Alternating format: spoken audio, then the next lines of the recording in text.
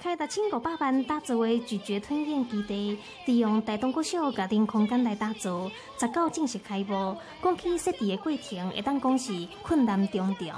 这个计划的通过是高难度哈，我刚刚带队哈到这个台北接受审问至少四次，我亲自带队啊哈。台湾的人口快速老化，自控二五年会进入超高龄的社会。高雄一间医学大厦超前部署，建立全球头一个用一条条的方式培育咀嚼吞咽较好人才。我们可以根据老人吞咽的状态的一个评估呢，去做一个不同的饮食的呃稠度的一个增加。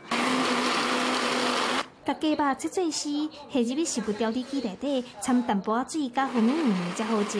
规个备份的基地有设在一间教室，为塑形餐的制作、口腔保健、吞物件配合训练、到考证照。总统府秘书长林家良嘛专工导览出席开播，亲身体验教室内底每一项功能。这个智慧化的医疗，哦，特别把这个基地啊整合啊，产学研还有各方的人哈。呃呃，一个示范的场域，那真的是呃，可以说一个一条龙式的哦，呃，对于咀嚼吞咽哦，怎么样促进我们的呃健康？那这个基地其实它最大的特色就是教考训用一致，我们教导学生在咀嚼吞咽相关，包括在解剖还有测试上面的知识，我们在这边训练他实际操作，我们在这边有做证照的考试。透过跨专业领域的整合教学方式，和社会老大人拢会当有真好的口腔健康，嘛，好老年的生活活得更加快乐、更有尊严。美食新闻，各样报道。